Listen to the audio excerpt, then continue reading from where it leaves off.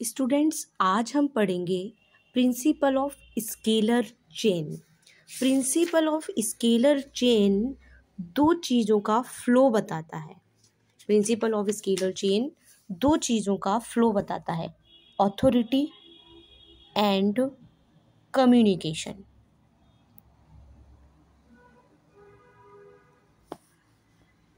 Principle of scalar chain दो चीज़ों का फ्लो बताता है, एक तो ऑथोरिटी दूसरा कम्युनिकेशन जैसा कि आप ये डायग्राम में देख पा रहे हैं कि ये ए तो यानी कि ये सुपीरियर लेवल पर है। फिर बी फिर सी ये सब बराबर के लेवल के हैं। जैसे कि एक ऑर्गेनाइजेशन है, मान लो एक स्कूल ही है तो उस स्कूल में सबसे मेन प्रिंसिपल जो सुपीरियर अथॉरिटी है तो कोई भी कोई भी इंफॉर्मेशन है तो वो कैसे ट्रांसफ़र होगी? ए से बी से बी से सी से सी से डी से।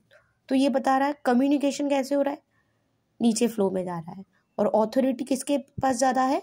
ए के पास ज़्यादा है। ठीक है? जैसे कि आपको भी एप्लीकेशन देना है तो ऐसा तो नहीं है कि डायरेक्ट आप प्रिंसिपल सर के पास जाके दे आएँगे। नहीं। तो हम किस तरीके से देंगे?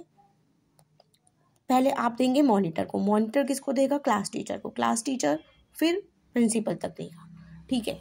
लेकिन कोई इमरजेंसी आ गई। इन इमरजेंसी तो ये स्केलर चेन को तोड़ना पड़ता है। जैसे कि मान लो एन के डिपार्टमेंट में आग लगी ठीक है? और एफ़ ने देखा तो क्या इस स्केलर चेन को फॉलो करना चाहिए? नहीं।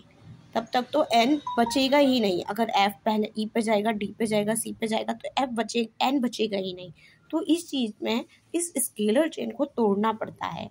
उस तोड़ने के लिए क्या करेगा? एफ़ डायरेक्ट एन के पास चला जाएगा। तो इसी को बोलते हैं गैंग प्लैंक